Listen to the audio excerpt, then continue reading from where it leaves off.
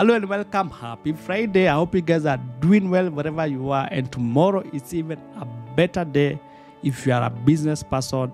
Tomorrow we have the Business Expo at Parklands Baptist Church. This is a time to collaborate, to connect, to showcase your business.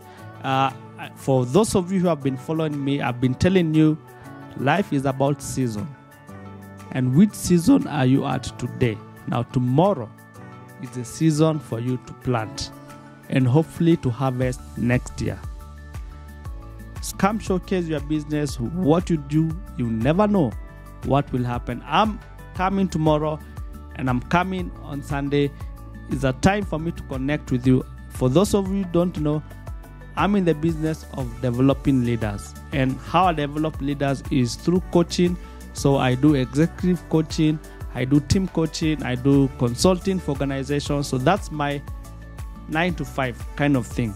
So I'll be doing that. And today I want to share with you, in my view, my experience for the last 10 years. I've been studying leadership as a PhD student, but I never finished. So don't tell everyone. Uh, privileged to meet some of uh, the key leaders. There are two that I want to highlight. Uh, so, number one, we have John Maxwell right here. And what he says, another privilege to meet him. I think this was in 20, 2018. Yeah, 2018. Other privilege to meet him. And what he says, leadership is influence.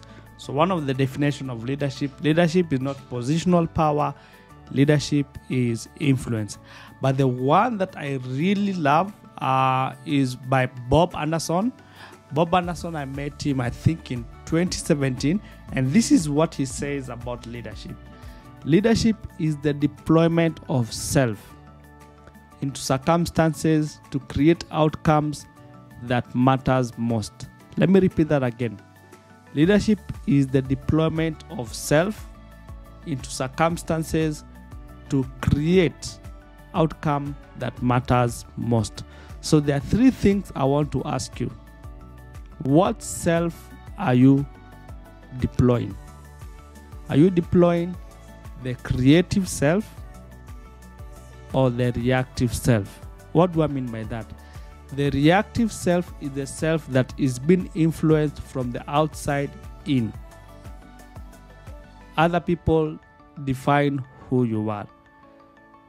And if that's how you're deploying yourself into leadership, you'll always be overwhelmed by what other people say. The creative self is the deployment from the inside out. You are being led from the inside coming out. Your values, what you care about. So, those are the two things that I want you to note on self. And there's a movement through coaching. How do you move from reactive to creative self? So that's the first thing. And the second thing is create.